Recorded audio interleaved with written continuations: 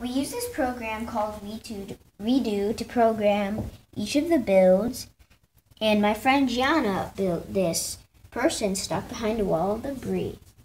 And I'll show you how it works. Help me! Help me! Help me! Help me!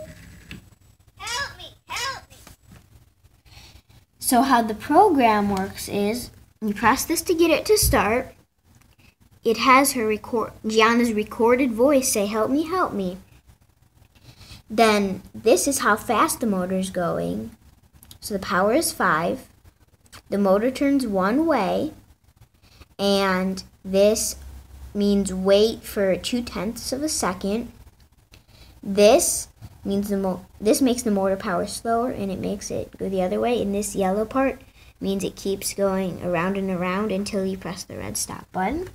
And our second question on the tornado test is the following tool used to detect weather patterns is called A. Tornado tracker, B. Weather watchman, C. Three band radio detector, or D. Doppler radar.